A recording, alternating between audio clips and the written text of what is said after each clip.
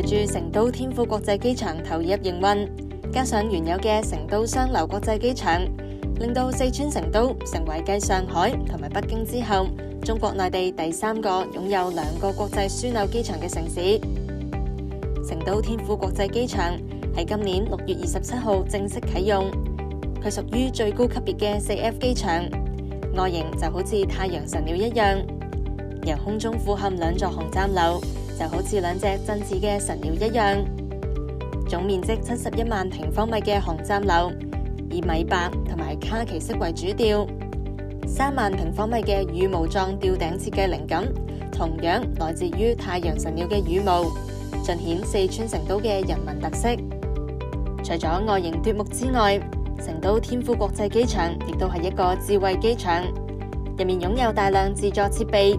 当中嘅自助直机。除咗可以传统刷身份证方式操作之外，仲可以透过人脸识别技术实现全程刷脸出行，唔使三十秒就可以完成登机程序。机场同时可以自助行李托运，当中采用咗全球规模最大、最复杂、技术含量最高嘅行李处理系统。呢套智能化嘅设备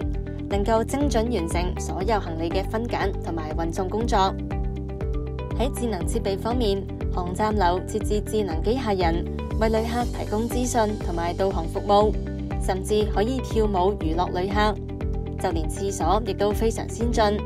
采用智能玻璃之余，亦都引入各类物联网传感器，可以清楚显示边一格未俾人使用。